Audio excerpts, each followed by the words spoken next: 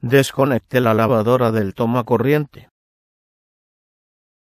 Abra el panel de los controles.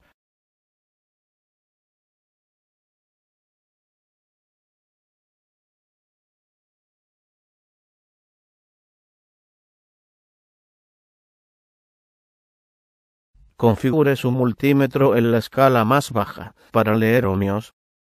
Desconecte el cable de alimentación del mazo de alambres.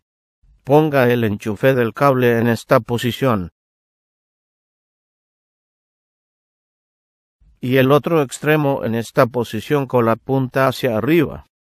Tome una lectura entre estos dos terminales, otra lectura entre estos otros dos terminales, y otra lectura entre este terminal y el metal del gabinete. Todas las lecturas deben ser cerca de cero ohmios, si alguna lectura es infinito. El cable de alimentación está dañado y lo tienes que reemplazar. Remueve el tornillo de los alambres verdes de tierra. Empuja con un destornillador en estos tres puntos.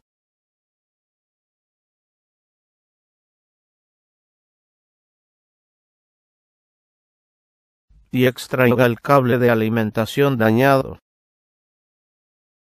Pase el cable nuevo a través del agujero.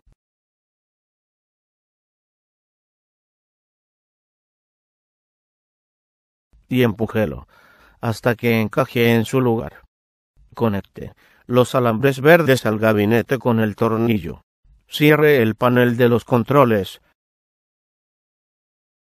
y asegúrelo con los cuatro tornillos.